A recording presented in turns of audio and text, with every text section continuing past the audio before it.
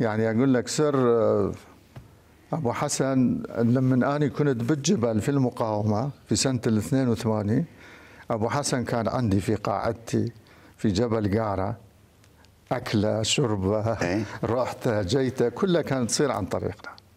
أها. ويشهد هو الرجال. يعني ماكلين خبز وملح سوا. السي- السيد المالكي نفس الشيء.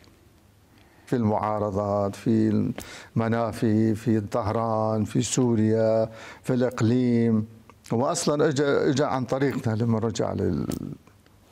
إلى إلى بغداد. بغداد زين. كان عندنا هنا في أربيل. خوش. ممتاز. نتعامل التحالف مع الاطار براغماتي أم عن قناعة؟ لا لا إحنا تحالفنا ويا قيادات الإطار مو جديدة. يعني هذول من أقرب حلفائنا.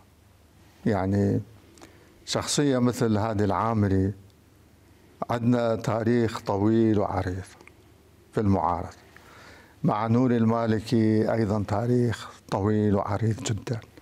مع آل الحكيم بيت الحكيم أيضا. يعني إحنا هذول كانوا حلفائنا الأساسيين في العراق الجديد. وإن شاء الله يبقى. لا لا الامانه